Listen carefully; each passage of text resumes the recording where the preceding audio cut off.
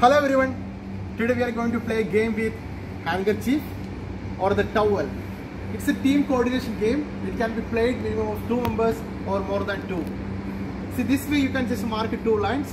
So one team will be sitting here, one team will be sitting here. And we have to keep the towel in the middle and there will be uh, actions like head, knee and toes. So you have to touch continuously and in between we'll say towel at that time. You have to cube, you have to take the towel in the hand. One who takes the towel first will be the winner.